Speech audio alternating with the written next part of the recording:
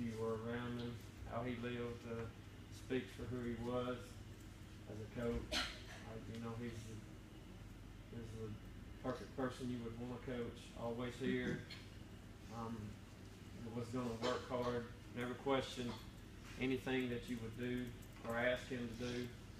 Um, I, I will definitely miss him, but it's a time where, like I said, we just have to be thankful for the time that he was in our life and just pray. Prayer can heal many things. Um, you know, we just have to we have to stick together through this time. Um, and we any all you here, we, we need your prayers. Our, our community, our, our school, our football team, our family during this time. Uh, again, we, I just appreciate your support, showing up and letting us know that you care. It means a lot to me, and I know it means a lot to our team.